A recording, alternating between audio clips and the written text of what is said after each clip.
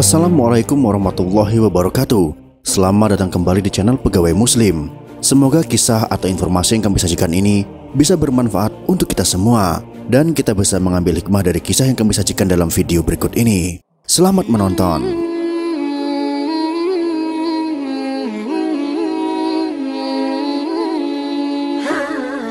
Di daerah Mosul, Irak terdapat sebuah kampung bernama Ninawa yang penduduknya berpaling dari jalan Allah yang lurus dan malah menyembah patung dan berhala.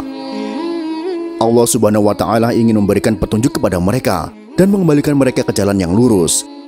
Maka dia mengutus Nabi Yunus alaihissalam untuk mengajak mereka beriman dan meninggalkan sesembahan selain Allah Azza wa Jalla. Akan tetapi mereka menolak beriman kepada Allah dan tetap memilih menyembah patung dan berhala. Mereka lebih memilih kekafiran dan kesesatan daripada keimanan dan petunjuk.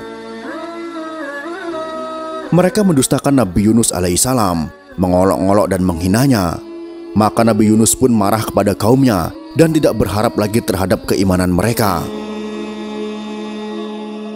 Allah Subhanahu wa taala pun mewahyukan kepada Nabi Yunus alaihissalam untuk memberitahukan kaumnya bahwa Allah akan mengazab mereka karena sikap mereka itu setelah berlalu tiga hari.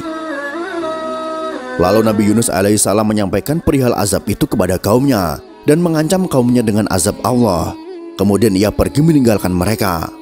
Ketika itu, kaum Yunus telah mengetahui bahwa Nabi Yunus alaihissalam telah pergi meninggalkan mereka sehingga mereka yakin azab akan turun dan bahwa Yunus adalah seorang nabi. Maka mereka segera bertaubat kepada Allah Subhanahu wa taala, kembali kepadanya dan menyesali sikap mereka. Ketika itu, kaum laki-laki, wanita, dan anak-anak menangis karena takut azab menimpa mereka, dan mereka berdoa dengan suara keras kepada Allah Azza wa Jalla agar azab itu diangkat dari mereka. Saat Allah melihat jujurnya taubat mereka, maka Dia menghilangkan azab itu dari mereka serta menjauhkannya. Allah Ta'ala berfirman, Dan mengapa tidak ada penduduk suatu kota yang beriman Lalu imannya itu bermanfaat kepadanya selain kaum Yunus. Ketika mereka beriman, kami hilangkan dari mereka azab yang menghinakan dalam kehidupan dunia dan kami berikan kesenangan kepada mereka sampai pada waktu yang tertentu. Quran Surah Yunus ayat 98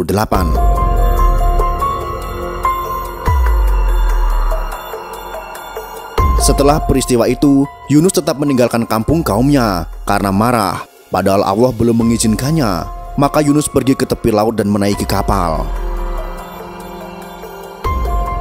Pada saat Nabi Yunus alaihissalam berada di atas kapal, maka ombak laut menjadi dahsyat, angin menjadi kencang, dan membuat kapal menjadi oleng hingga hampir saja tenggelam. Oleh karena itu, kapal yang ditumpangi membawa barang-barang yang berat, lalu sebagiannya dilempar ke laut untuk meringankan beban kapal tersebut. Tetapi ternyata kapal itu tetap saja oleng dan hampir tenggelam. Maka para penumpangnya bermusyawarah untuk meringankan beban kapal dengan melempar seseorang ke laut. Maka mereka melakukan undian dan ternyata undian itu jatuh pada diri Yunus. Tetapi para penumpang yang ada di kapal tersebut tidak mau jika Yunus harus terjun ke laut. Maka undian pun diulang lagi dan ternyata jatuh kepada Yunus lagi. Hingga undian itu dilakukan sebanyak tiga kali dan hasilnya pun tetap sama. Maka Nabi Yunus alaihissalam pun bangkit dan melepas bajunya kemudian melempar dirinya ke laut. Pada saat yang bersamaan, Allah telah mengirimkan ikan besar kepadanya dan mengilhamkan kepada ikan tersebut untuk menelan Yunus dengan tidak merobek dagingnya atau mematahkan tulangnya. Maka ikan itu pun melakukannya atas perintah Allah. Ia menelan Nabi Yunus ke dalam perutnya tanpa mematahkan tulang dan merobek dagingnya. Dan Nabi Yunus alaihissalam pun tinggal di perut ikan itu dalam beberapa waktu dan dibawa mengarungi lautan oleh ikan itu. Ketika Yunus mendengar ucapan tasbih dari kerikil di bawah laut, maka di kegelapan itu Yunus berdoa, "Tidak ada Tuhan yang berhak disembah selain Engkau, Maha Suci Engkau. Sesungguhnya aku termasuk orang-orang yang zolim." Nabi Yunus alaihissalam berada dalam tiga kegelapan, yaitu kegelapan perut ikan, kegelapan lautan, dan kegelapan malam. Hal ini sebagaimana yang difirmankan Allah Ta'ala. Dan ingatlah kisah Zunnun ketika ia pergi dalam keadaan marah. Lalu ia menyangka bahwa kami tidak akan mempersempitnya. Maka ia menyeru dalam keadaan yang sangat gelap bahwa tidak ada Tuhan yang berhak disembah selain Engkau, Maha Suci Engkau, Sesungguhnya aku termasuk orang-orang yang zolim, maka kami telah memperkenankan doanya dan menyelamatkannya daripada kedukaan, dan demikianlah kami selamatkan orang-orang yang beriman. Quran Surah Al-Anbiya ayat 87 sampai 88. Para ulama berselisih tentang berapa lama Nabi Yunus tinggal di dalam perut ikan. Menurut Qatadah tiga hari, menurut Abu Ja'far As-Siddiq tujuh hari, sedangkan menurut Abu Malik 40 hari. Mujahid berkata dari Asyabi, ia ditelan di waktu duha dan dimuntahkan di waktu sore. Kemudian Allah memerintahkan ikan itu memuntahkan Yunus ke pinggir pantai. Lalu Allah tumbuhkan di sana sebuah pohon sejenis labu yang dapat menaungi Nabi Yunus alaihissalam dan menjaganya dari panas terik matahari.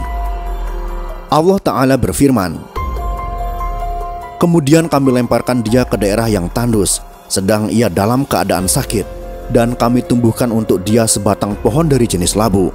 Quran Surah As-Safat ayat 145 sampai 146. Ketika Nabi Yunus alaihissalam dimuntahkan dari perut ikan, keadaannya seperti anak burung yang telanjang dan tidak berambut. Lalu Allah menumbuhkan pohon sejenis labu, di mana ia dapat berteduh dengannya dan makan darinya. Selanjutnya pohon itu kering, lalu Yunus menangis karena keringnya pohon itu. Kemudian Allah berfirman kepadanya, Apakah kamu menangis karena pohon itu kering? Namun kamu tidak menangis karena seratus ribu orang atau lebih yang ingin engkau binasakan. Selanjutnya Allah subhanahu wa ta'ala memerintahkan Nabi Yunus agar kembali kepada kaumnya dan memberitahukan mereka bahwa Allah Ta'ala telah menerima taubat mereka dan telah ridho kepada mereka. Maka Nabi Yunus alaihissalam melaksanakan perintah itu. Ia pergi mendatangi kaumnya dan memberitahukan kepada mereka wahyu yang diterimanya dari Allah Subhanahu wa taala. Kaumnya pun telah beriman dan Allah memberikan berkah kepada harta dan anak-anak mereka sebagaimana yang diterangkan Allah dalam firman-Nya. Dan kami utus dia kepada seratus ribu orang atau lebih Lalu mereka beriman Karena itu kami anugerahkan kenikmatan hidup kepada mereka hingga waktu yang tertentu Quran Surah As-Safat ayat 147 sampai 148. Allah Subhanahu wa taala memuji Nabi Yunus alaihissalam dalam Al-Qur'an. Allah taala berfirman, "Dan Ismail, Al-Yasa, Yunus dan Lut masing-masing kami lebihkan derajatnya di atas umat di masanya." Quran surah Al-An'am ayat 86. Nabi Muhammad Shallallahu Alaihi Wasallam juga memuji Nabi Yunus alaihissalam dalam sabdanya, tidak layak bagi seorang hamba mengatakan, saya lebih baik daripada Yunus bin Mata. Mutafak alaih. Beliau mengucapkan demikian karena tawaduknya. Ada pula yang berpendapat bahwa beliau mengucapkan demikian untuk menghindari adanya sikap orang bodoh yang merendahkan martabat Nabi Yunus alaihissalam karena kisah yang disebutkan dalam Al-Quran. Dan tentang doa Nabi Yunus alaihissalam Rasulullah Shallallahu Alaihi Wasallam bersabda, doa Zunun ketika di perut ikan adalah, tidak ada Tuhan yang berhak disembah selain Engkau. Sesungguhnya aku termasuk orang-orang yang zalim. Sesungguhnya tidak seorang Muslim pun yang berdoa dengannya dalam suatu masalah, melainkan Allah akan mengabulkan doanya. Hadis riwayat Tirmizi dan disahihkan oleh Syekh Al Albani. Semoga kisah tentang Nabi Yunus ini bisa memberikan nasihat kepada admin pribadi dan seluruh pecinta pegawai muslim. Wallahu alam bisawab.